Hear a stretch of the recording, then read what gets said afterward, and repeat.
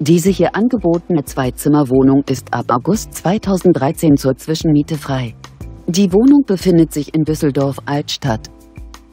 Das Objekt wird über eine Etagenheizung beheizt.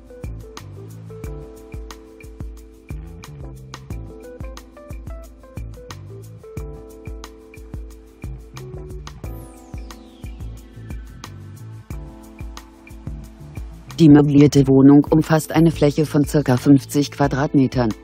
Die monatliche Pauschalmiete beträgt 800 Euro.